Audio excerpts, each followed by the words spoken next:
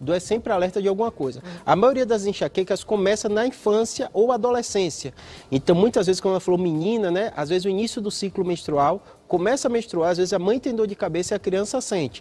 A criança às vezes é difícil de referir. Então, se ela tem essa queixa, tem que procurar o pediatra para ele fazer essa avaliação. E criança é mais raro a gente dar aquele remédio profilático, mas às vezes orienta. Na hora da criança estar com dor, tomar remédio. Às vezes vai ruim na escola, ninguém sabe por quê, mas é porque ela está é com isso, dor, né? o aprendizado é prejudicado. Agora, né? veja só, não enxergar direito dá dor de cabeça. Isso, tem que ir no Tá com problema de também. visão. E Isso. muitas crianças vão mal na escola porque tem problema de visão e às vezes senta mais para trás, elas não conseguem identificar ou falar com o professor e isso dá dor de cabeça.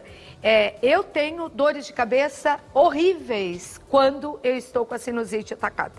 Sinusite me dá dor de cabeça. E ela falou disso, né? É uma dor aqui, assim, dói a cabeça, dói tudo. E pode ser a sinusite. Uma comida que faz Perfeito. mal, não pode dar dor de cabeça, Pode. doutor? A enxaqueca ela tem gatilhos. Tem gente que café piora, tem gente que até melhora, né? É. Tem gente que bebida alcoólica, vinho, alimentos enlatados. Então vai variar de pessoa para pessoa. Chocolate, né? Chocolate, né? Eu costumo dizer para o paciente que normalmente o paciente que tem acompanhamento médico, eu, eu aviso, você vai entender melhor da sua dor de cabeça do que eu. Porque a pessoa começa a notar e vê, ó, realmente, eu dormi mal, não sei qual é o seu gatilho, o meu gatilho é sono.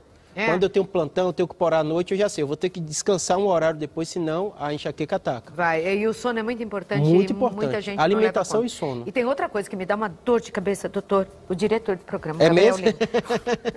Tô brincando. É, é que ele fica falando no seu ouvido o tempo Fica inteiro, falando né? aqui no meu ouvido, que cabeça que aguenta, gente. Ah, é